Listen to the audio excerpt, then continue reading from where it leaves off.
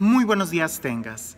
En el Evangelio el día de hoy encontramos una escena muy familiar, incluso tan familiar que la gente del Evangelio cuando escucha a Jesús inmediatamente se empieza a hacer preguntas y dicen, pero que no es este el hijo del carpintero, que no creció entre nosotros y no están aquí todos sus familiares. Se asombraban de la, de la sabiduría que brotaba de él, pero no creyeron en él.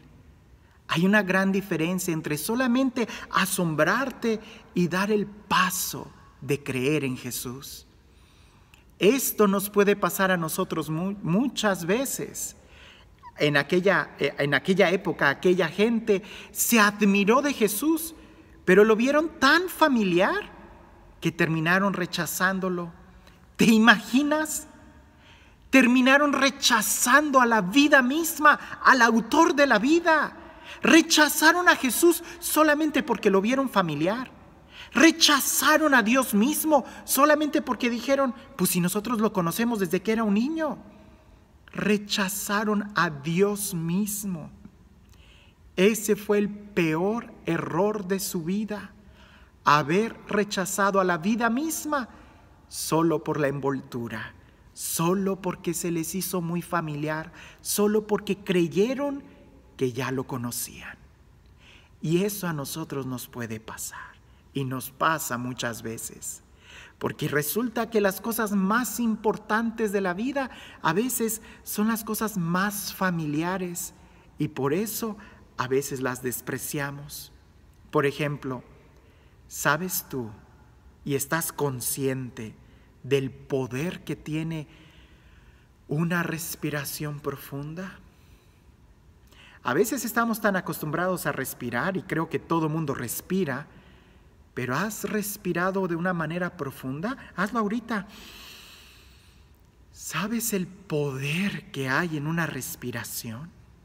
¿Sabes el poder que hay en la palabra te quiero?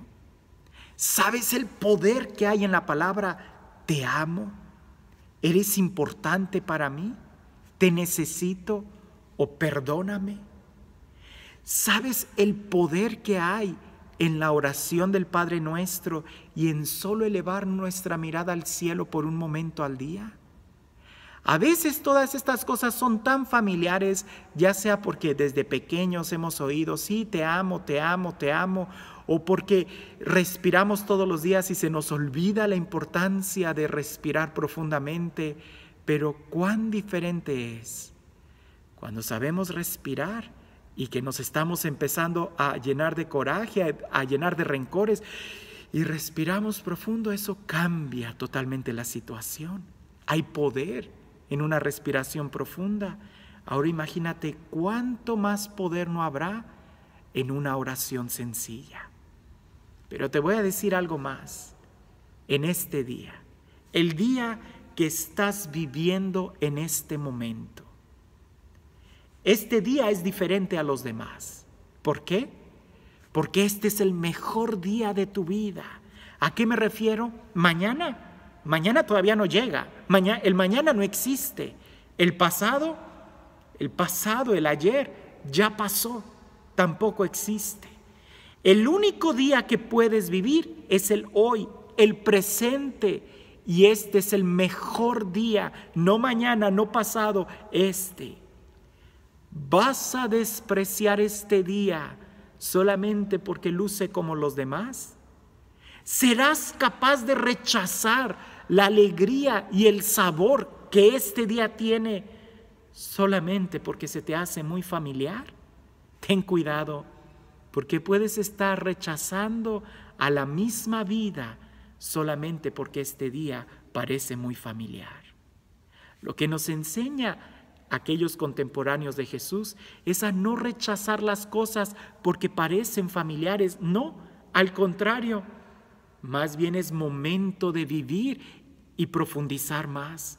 No te quedes solamente viendo y contemplando las cosas como aquellos que se admiraban de la sabiduría y decían, ah, qué interesante. Y no hicieron nada por vivir, por aceptarlo, por tomar la decisión. Yo sé que con nuestra inteligencia Tú vas a pensar, claro, voy a vivir este día, pero con tu actitud, qué es lo que dices. Porque si tu actitud no es de alguien que acepta a Jesús, si tu actitud no es de alguien que acepta este día, si tu actitud no es de alguien que está agradecido y que cree, y no solamente admira, sino que cree que este es el día de tu vida, entonces corres el peligro de rechazar a la misma vida. La invitación que nos hace el Evangelio es a que nunca creamos que todo es muy familiar. No, nunca creas que todo es igual, no, nada es igual. Nunca creas que este día es el mismo que el de ayer, no, no es el mismo, no es el mismo. Cada día tiene su propia bendición, cada momento, cada situación es diferente y única. Lo que puede ser igual es tu actitud y eso puede echar a perder todo. La actitud de aquella gente fue de rechazar a la vida misma y con ello cometieron el peor error de sus vidas. Que esto no te pase a ti.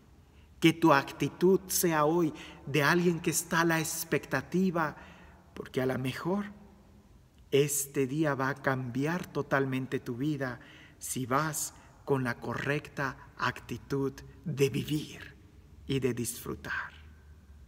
Y este Dios que es la vida, este Dios que siempre nos acompaña, este Dios que nos ama y que sale a nuestro encuentro a veces en las cosas más repetitivas o usuales o familiares de nuestra vida, como puede ser una sonrisa, una nube en el horizonte, el cántaro, el canto de un pájaro, como puede ser sencillamente el respirar profundo o una oración que este Dios salga a nuestro encuentro el día de hoy y haga nuevas todas las cosas. Y te bendiga en el nombre del Padre, del Hijo y del Espíritu Santo. ¿Tú también te asombras y desprecias?